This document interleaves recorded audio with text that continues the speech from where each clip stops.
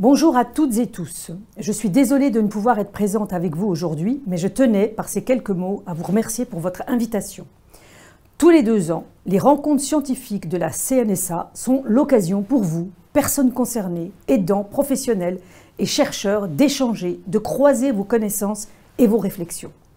Elles sont cette année centrées sur les professionnels de l'autonomie. Les enjeux sont forts et nombreux sur le sujet. Sans professionnels, pas d'accompagnement.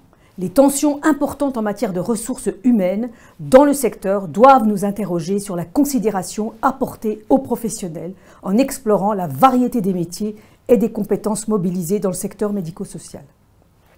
La Conférence nationale du handicap a permis au président de la République de réaffirmer la volonté d'assurer un accompagnement de qualité plus adapté pour chacune et chacun, avec comme priorité la recherche de solutions en milieu ordinaire autant que possible.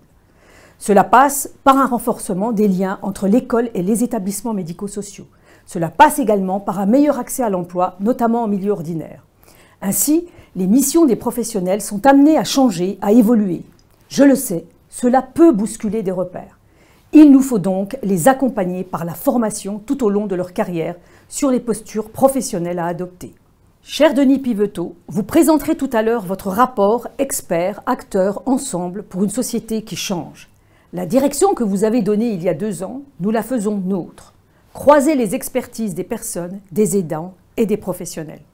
Pour ces derniers, décloisonner les secteurs, avoir des personnes formées au handicap dans les établissements de santé, faire entrer les professionnels de rééducation du médico-social dans les écoles pour travailler avec les enfants en situation de handicap, mais aussi pour travailler avec les enseignants, avec les parents.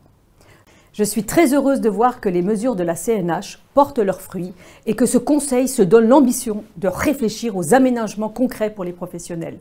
Leur rôle est immense dans les défis que nous nous sommes donnés pour mieux respecter les droits de toutes et tous. Je remercie donc les organisateurs et tous les intervenants. Merci à toutes et tous.